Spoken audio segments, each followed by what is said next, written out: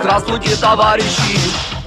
Начинаем программу телепередач на завтра.